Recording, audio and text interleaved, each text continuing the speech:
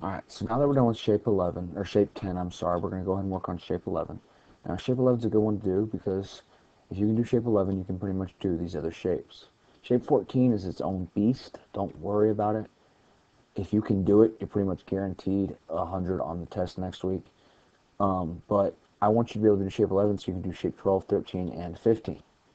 If you can do shape 11, then those ones will be pretty easy. Now, starting with shape 11, if we look at it, it's kind of a weird measurement. So I go to my new document, we look at shape 11 here. It's kind of weird. It tells me this line's length, but it doesn't tell me how long this line is. Okay, so we have to kind of figure it out by looking at our circles. So we go to the orange eye, we go to, or not an orange eye, we go to sketch, we start on the front face, because I'm going to draw this front face first, and I'm going to start at this corner, because I can see how long this line is. It's clearly 1.25.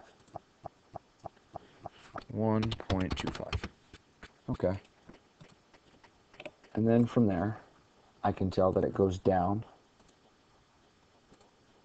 0.5.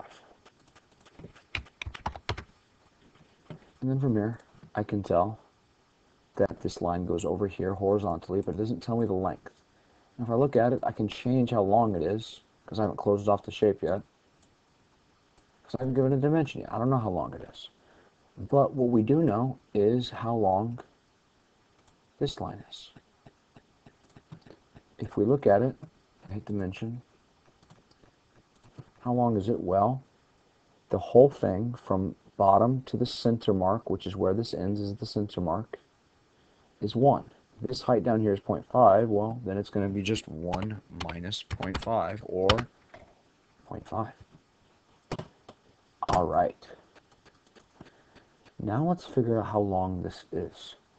Well, I know it's 1.25 here, but I don't know how long this is. But I didn't know the radius of this big outer circle. Radius is just edge to center. So this edge to center is 0.5. This edge right here to center is 0.5. This edge to here to center is 0.5. So from here is 1.25, then to the center is another 0.5, and then from the center to the edge is another 0.5. Well, that's easy. It's 1.25 plus 0.5 plus 0.5.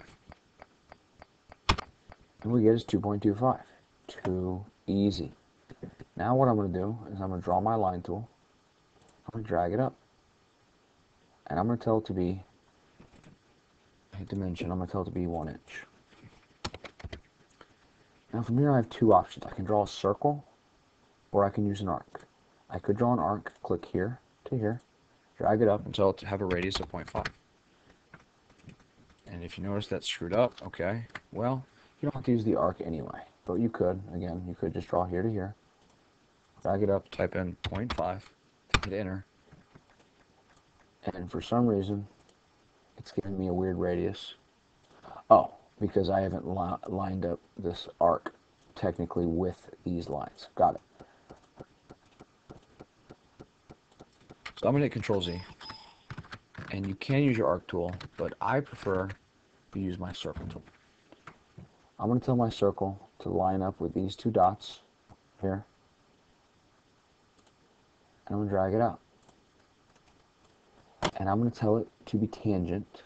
If you look at what tangent is, you can look at the animation and watch it happen.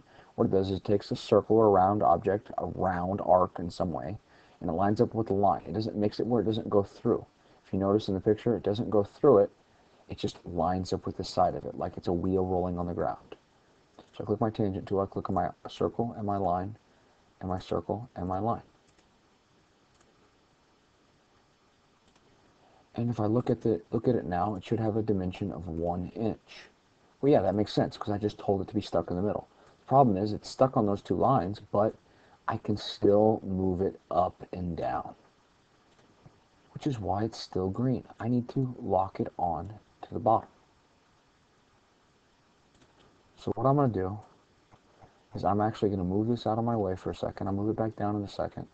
I'm going to connect these with a line. Now, I'm going to tell this dot here to be coincident with my line. And now it's blue. And I'm going to get rid of this stuff on the bottom. I don't need it. I don't need this trim. And I definitely don't need this line, but it's not letting me trim it. That's okay. Sometimes it doesn't let you trim. No big deal. We can get around that. But the point is, I don't need those two. I have the shape now. I finish my sketch, and I hit extrude. I want to click on all of my shapes, and there it goes. Now, how far does it come out? Well, again, we go to this circle. It extrudes, if you look, this has a radius of 0.5. That means from this center to here is 0.5, this center to this edge is 0.5. So it extrudes 0.5 plus 0.5, or the radius plus the radius. And we're almost done. Next thing I can do is I can click on New Sketch here. I'm going to turn it sideways so I can read top because it makes my life easier. I'm going to turn on Shaded with Edges because it makes my life easier. And I'm going to draw a circle. I want this circle to be centered exactly in the middle. So I'm going to hit the green dot in the middle. I'm going to drag it up. And then I'm going to make it be a green dot on the end. So it has that radius of 0.5. I'm going to finish my sketch. And I'm going to extrude. I don't want to make it cut. I want to go the opposite direction. But I want it to join when I go the opposite direction. And I'm going to tell it to be 0.5 tall.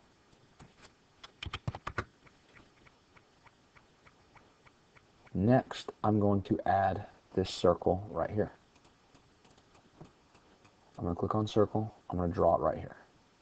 It tells me that this circle has a diameter of 0.5.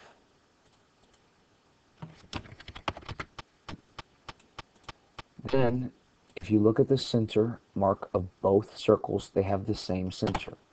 Well, that's our concentric constraint.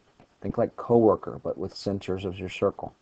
Centric, co, concentric. You click on two arcs, it'll make them have the exact same center. So now I can't move this shape. Cool. Now it's stuck in the middle. I finish my sketch. I'm going to go ahead and extrude, cut, distance, hit OK. And I'm almost done with this shape. Last thing I'm going to do is I'm going to add this random shape right here. I go orange eye, new sketch, go to my top view, turn it sideways. And it seems clear to me that there are two arcs here and here, and lines separating them. So I'm going to draw two circles, here and here, and they both have a diameter of 0.5. Here, I'll prove it. From end to end is 0.5. So I'm going to tell them to be the same size, first off. And then I'm going to add a dimension to one of them to be 0.5.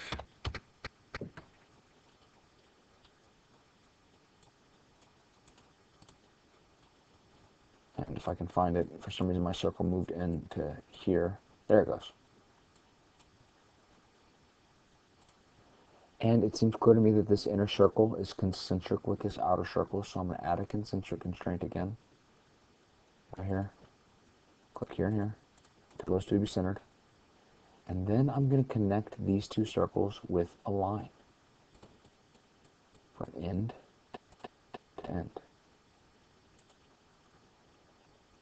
And this circle is also going to connect. And you can connect in the middle or not, doesn't matter. I'm then going to tell these two circles to be horizontal. And I'm also going to tell them to be tangent to my circles. And if it's already tangent, it won't let you connect it. Like this, it's going to say that constraint already exists. Sometimes that accidentally happens while you're building, no big deal. Check this one. Alright, so it's all constrained. The only problem is now I've got it completely horizontal, I've got it all aligned. I haven't told it how far away it needs to be. Well, if I look, the two centers are 0.75 away. Too easy. Click on these two circles, drag it up, 0.75. Then all I have to do is finish my sketch, extrude, cut all the way through, and hit OK. And I'm done. Oops. I'm done with shape 11.